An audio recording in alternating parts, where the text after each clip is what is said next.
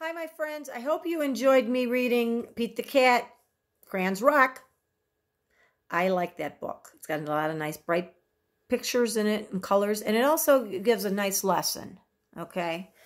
Um, and one of the lessons is you should be kind to other people when they're showing you their artwork or if they ask if you like their clothes. You should always be nice, okay?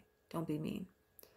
Okay, so now we're going to draw a picture with your groovy crayons and we're going to draw some objects that are round, like a circle, okay?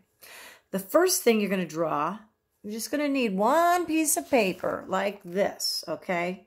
Because it's um, going to contain all six of our round circular objects. The first thing we're going to draw is a round sun.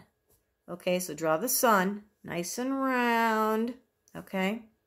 Then give yourself a little more room on the paper and draw a sucker, a lollipop. So it's going to be round again with a stick, okay?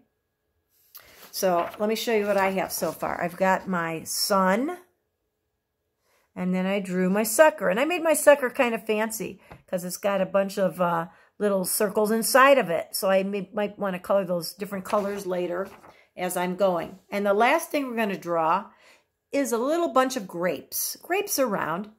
Okay, so you can just make a bunch of little circles that touch each other like this. See how I did my grapes? Just a bunch of little circles that um, touched each other. Okay, and a little stick, which is like the stem for them. Okay. Now, if you, you probably want to watch this video once to see what we're doing and then come back and watch it again. So maybe you can draw, you know, as um, you go through the video the next time. You can pause it. Okay, so now we have those three objects. We have our sun, the sucker, and our grapes. We're going to pick three other things to draw. Okay, so you can either draw an orange, piece of fruit, orange, a ball, a button, a penny, a flower, uh, a round clock, a round tire, like on a truck or a car or a motorcycle. That's a round tire too. Uh, a round table or the moon. So if you're going to have a round moon, it would have to be a full moon, okay? So you'll have six things, okay? So your sun is probably going to be yellow, okay? Your sucker, it's going to be any color you want to color it in. And your grapes, grapes can be green or, or purple. Purple is my favorite color, so I would make my grapes purple. But you can make them green if you want to. Um, and then your orange, if you draw the piece of fruit, of course it would be orange. Okay. Um, and then if you draw a ball, that can be any color you want it to be. Um, the tire, well, we know what color tires are. Brown round table could be any color. Uh, a clock face, that's round. Could be any color. And the moon.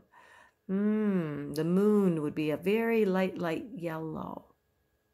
Or you could draw it and leave it white and then just make like some black around it so it looks like it's, you know, dark.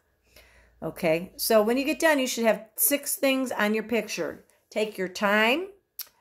Use your groovy crayons. Give me some bright colors.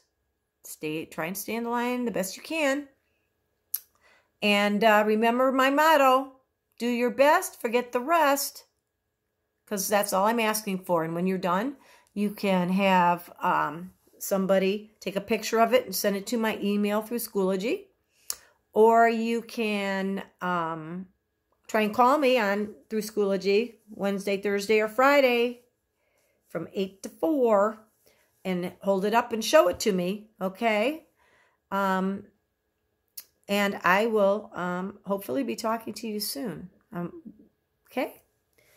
See you next time, my friends. Have a good day. Bye.